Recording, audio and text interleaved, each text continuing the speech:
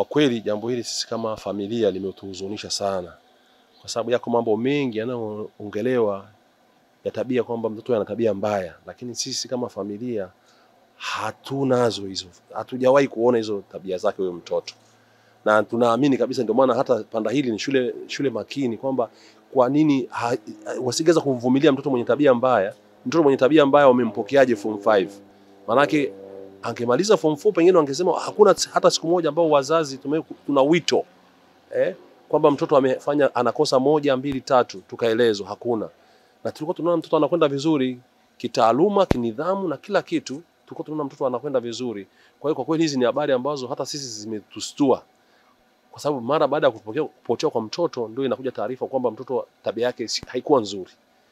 Labda baada ya mtoto kuwaelezea taarifa ambazo ni tofauti sana sana na taarifa ambazo zilitoka hadharani au umma unazisikia na kuziamini. Uh, ulijisikiaje kwa taarifa hizi ambazo mtoto aliwaelezea? Na nini mtazamo wenu kuhusu kwa kweli sisi kama familia tulipokuwa tukifuatilia ni kwamba wale wazazi walezi waliokuwa naye Mbeya hawakupata fu, yani hawakupewa fursa ya kusikilizwa na kuongea na mtoto. Mtoto mwenyewe hakupewa fursa ya kuongea eh, walifanya kumchukua kumhoji kwa sirisiri na baadaye kupeleka mbele ya media. Alafu mtu umetoka kwenye hali kama hiyo kupelekwa ghafla kwenye media, ilikuwa ni changamoto. Sio rahisi mtu kuanza kujielezea pale, na alikuwa anaambiwa anapewa maelekezo ya kuongea kwenye media kwamba eh, toa shukurani, shukuru serikali. Unaona, kwa hiyo unaona kuna mkanganyiko eh, na kuanzia hata mwanzo kwamba kuna huo waraka ambao ulikutwa madhabahuni kanisani ambao ulikuwa unamtaja huyo mwalimu Jimmy. Kwa nini? Umeshanielewa? Polisi hawataki kutuelezea kwamba wamefanya nini kwa, kwa kuhusu huyo mwalimu eh? Kwa sababu hata walezi ambao walikuwa naye Mbeya, kila walipokuwa wakienda shuleni kufuatilia wakati mtoto haonekaniki, wakianza kuhoji kuhusu mwalimu, anaambia mwalimu ameenda mara yuko kwenye kusaisha mitihani ya taifa, mara yuko wapi. Kwa hiyo inaonekana kabisa kama kuna kitu kimefichwa hapo katikati, unaona, ambacho hawataki wao kukiweka wazi. Labda ungetamani kutoa wito gani kwa serikali au na Eh. mamlaka nyingine kama wadau pia hata watetezi wa haki za binadamu? Mimi wito wangu kwa eh, taasisi zote zinazotetea haki za, za binadamu kwamba tunaomba waliingilie swala hili watusaidie, kwa sababu mpaka wakati huu hatuna imani eh, na, na, na, na, na vyombo vya usalama vya mkoa wa Mbeya. Hatuna imani na RPC, hatuna imani na DC, hatuna imani na mkuu wa mkoa, kwa sababu wote wote tunaona kama wana mlengo wa kumkandamiza huyu binti. Huyu binti ni mdogo, ni mtoto wa kike, anahitaji kutengenezewa mazingira ya baadaye, unaona, lakini hakuna hata chochote kinachoonekana kwao kama msaada. Badala yake ni kwamba wameendelea kutoa maneno ya kashfa katika vyombo vya habari, unaona. Kwa hiyo na ushirikiano umekuwa ni hafifu. Kwa hiyo e, unaweza tu ukaangalia kwamba mpaka waziri mkuu anatoa tamko e, ndio watu waliinuka na kumtafuta na alipatikana baada ya tamko tu la waziri mkuu.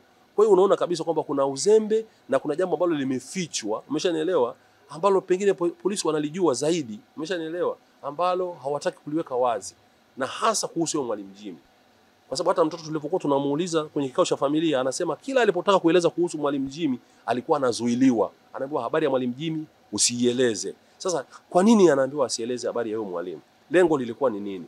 Na ukiangalia kuanzia ule waraka wa ule mwanzo, mtoto alimwandika huyo mwalimu kwenye ule waraka, lakini alipotaka kuuelezea, kila mali alipotaka kuelezea, anasema hakuna kilichofanyika. Mtoto anasema RPC alimuita siku alipopatikana, akamfuata kwenye gari, akamhoji na akamwelezea scenario nzima, picha halisi, jinsi mwalimu huyu mwalimu Jimmy alivyomfanyia vitendo vya ki, vya kikatili alivyomwelezea, lakini RPC hakufanya jambo lolote eh, baada ya kuelezwa na mtoto. Kwa hiyo tunakuwa tuna mashaka eh, tunakuwaje na imani na vyombo hivyo vitawezaje kumsaidia mtoto? Ndio maana tuna sasa tunapaza sauti zetu kwa upande huu mwingine, labda watutetee ili mtoto huyo apate haki yake. vitu ambavyo vilikuwa vina publishiwa kwenye vyombo vya media viliniumiza kwa sababu watu wengi hawakujua undani na mtoto wa kupata nafasi ya kujieleza. Yamkini wangekuwa wamempa nafasi ya kujieleza, nadhani ukweli ungejulikana kabla ya kupublish hili jambo tofauti na mwonekano ambavyo jamii imeichukulia. Lakini ni jambo ambalo linaumiza sana, hata mapokeo yake yalikuwa ni ya maumivu mno, na hata siku ya tukio mtoto alipokamatwa, mimi nilikuwepo, ko nafahamu kinagaubaga situation iliyokuwepo pale, lakini tulifanya kama tulivyoelekezwa. Nini tufanye kwenye vyombo vya habari, lakini mlielekezwa hawakutupa uhuru. nini? Mm, Mlielekezwa nini labda kwa upande wenu? Uh, kwa mtoto alionekana alitaka kueleza mambo yaliyomsibu, lakini hakupewa uhuru huo.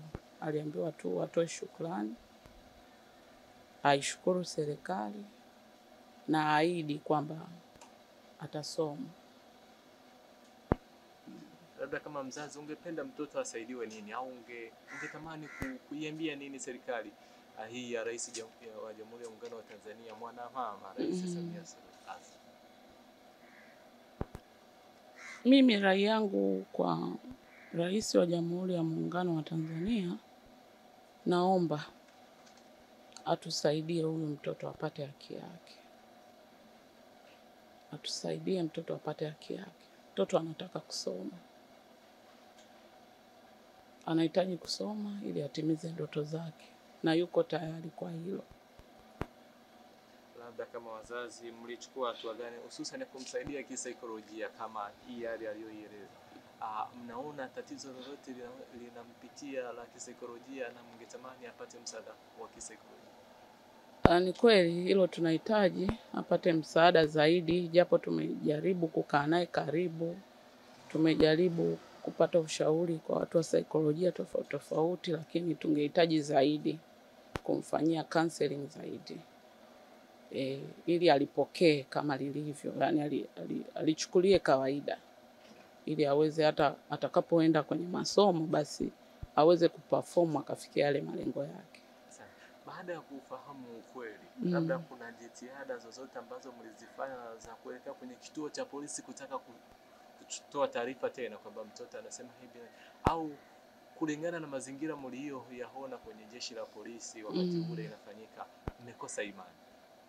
Ni kweli, ni kutokana na mazingira yalitufanya tukose imani, kwa sababu kuna vitu vilitamkwa kwamba hatujai kufika kwa mkuu wa wilaya, na hicho kitu ambacho sio kweli. Kwa mkuu wa wilaya niliingia mimi mwenyewe, mimi kama mama mdogo nilienda na baba mlezi wa Esther Noah, tukaonana na mkuu wa wilaya, na mkuu wa wilaya akatusaidia mawasiliano na OCD wa kituo cha Utengule tukaenda kuonana naye siku hiyo hiyo baada ya kutoka kwa mkuu wa wilaya, lakini vitu vimeenda tofauti kabisa, vimeelezwa tofauti, lakini tulifika kwa mkuu wa wilaya, tulifika kwa OCD.